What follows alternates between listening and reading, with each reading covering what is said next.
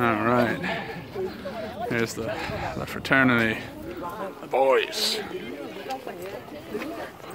A rather imposing structure, no?